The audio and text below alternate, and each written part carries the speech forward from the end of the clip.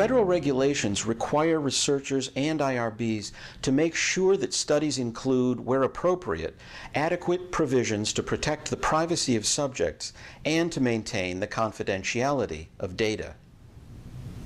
We use the term privacy in reference to individuals and their right to control what other people know about them and their interactions with others. Confidentiality refers in particular to the security of records and information about individuals. Privacy applies to people. Confidentiality applies to information. Protecting the privacy of your subjects and potential subjects involves choosing appropriate settings for all study procedures and discussions, including the informed consent process. Choose locations where people outside your study won't see or overhear your interactions. Avoid discussing study participation in public. It may be appropriate to let individuals contact you to talk about your study or to arrange a convenient and comfortable time to meet.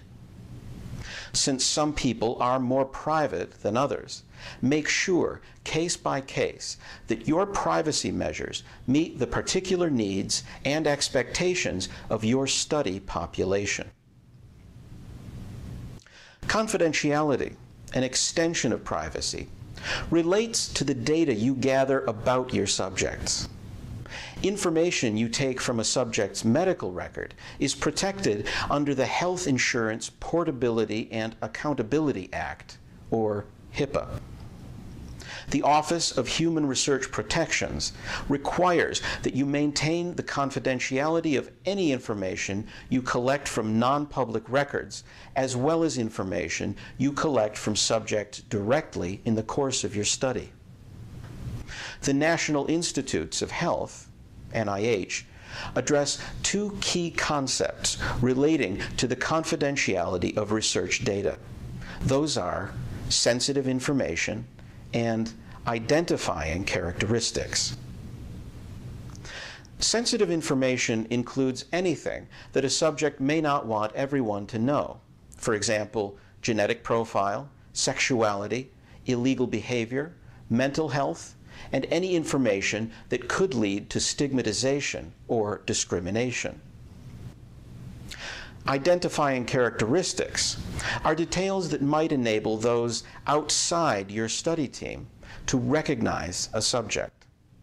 Examples of identifying characteristics include a subject's name, social security number, detailed physical description, and genetic profile. No one outside your study team should have access to the identifying characteristics that link your subjects to their sensitive information. Password protection and encryption software are useful safeguards when storing confidential study data on computers. Never use shared or public computers to view or store information about your subjects. To prevent internet hacking, store confidential data on computers not connected to the internet. Avoid storing study data on portable devices that are easily misplaced or stolen. In your study's informed consent document, you must explain to subjects how you plan to keep their information confidential. Indicate all parties who may have access to sensitive information and describe the methods you will use to prevent others from gaining access to it.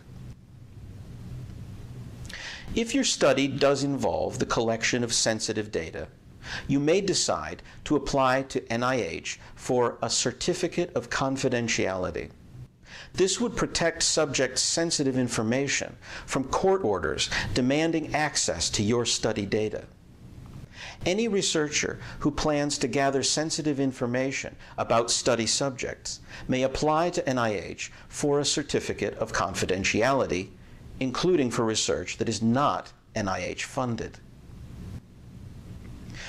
Ethical research practice means protecting subjects and potential subjects' personal privacy, as well as the confidentiality of the information you gather about them.